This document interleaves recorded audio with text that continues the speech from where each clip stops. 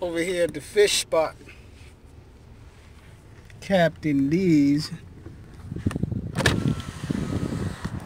Would you like to try our two-piece fish and fries for 329 We'll be right with you. All right.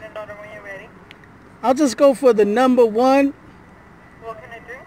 And to drink, I'll take uh, Mr. Pibb. And instead of the fries, I'll switch that for the fried okra.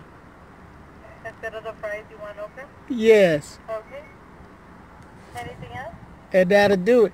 All right. So I got a fish and fries with some Mr. Pibb okra instead of the fries. Five ninety three. Thank you. Thanks.